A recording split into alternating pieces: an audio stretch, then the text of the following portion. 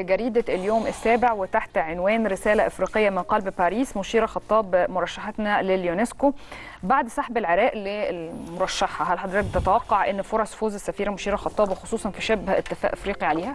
لا لا مش شبه هي مرشحة العرب والأفارقة وحتى جزء من أوروبا إحنا عاملين عملية آه عملية بروباجندا يعني هايلة جدا محترفة جدا في هذا الإطار.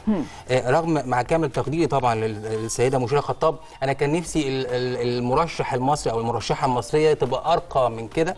لكن خلينا نقول إن الاسم ما ليه ليه عندك تحفظ؟ لا لا مش تحفظ شخصي أنا بتكلم تحفظ مهني.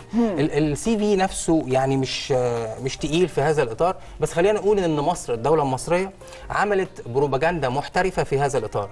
كسبت الملف مين من وجهة نظرك اللي كنت شايف السي في بتاعته أحق بان إن هي إحنا لو اتكلمنا على أسماء بشكل بشكل أو بآخر هنخش بقى ده تبع مين وده تبع مين ومش عارف إيه. فخلينا نقول يعني لا داعي للاستقطاب. حتى هقول لك هقول لك إن أختها نفسها دكتورة مشير مديحة خطاب يعني كانت أكتر انتاجا منها. بس خلينا نقول خلاص إحنا فاضل لنا كام يوم أعتقد بعد بكرة. أنا متوقع إن شاء الله هنفوز وتبقى أول سيدة مصرية عربية إفريقية تنال هذا الشرف. وأتصور إن إحنا لما نكسب المساحة دي ده دي عودة قوية لمصر آه ويعني نتاج حقيقي لعمل كبير. إذا كان في حال فوزها في حال فوزها هتتعامل مصر مع هذا المنصب الدولي إزاي؟ هو اولا ده هيبقى إنجاز كبير جدا. أنت أول مرة تخش المعترك ده طبعا أنت فاكرة المعركة بتاعت فاروق حسني. وعلى فكرة يعني عملنا فيها ريكورد وما كانش ما كناش يعني كان في تمثيل مشرف ومنافسه قوية. اتعلمنا واضح من وده ده من ضمن بس الحاجات اللي ما كانش في بروباجندا اللي بقوه يعني ما كانش آه في وقتها ما, ما كانش في بروباجندا بتسانده بالشكل زي, زي ما أنت بتقولي فعلا. لا لا أفريقيا برضو ما كانش معانا قوي. أي. إحنا من ضمن الإنجازات اللي إحنا عملناها فكرة ان أفريقيا مش كلها معانا محيده حتى العدو محيداه اللي هو مسيطر عليه إسرائيل قوي فمحيداه.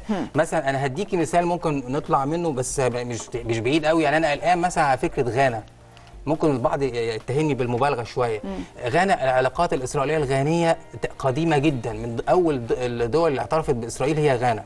أنا قلقان إن هي تكون بتلعب في الملف بتاع التأهل تأهل مصر للمونديال الروسي وفكرة اللعب بالاحتياطي والكلام اللي هو فجأة دوت يعني غانا دي دولة قوية جدا في الكورة فازاي ترضى بالمهانة دي؟ ولسه قدامها فرص أساسا يعني لو فازت بالمباراتين دول ممكن تكسب.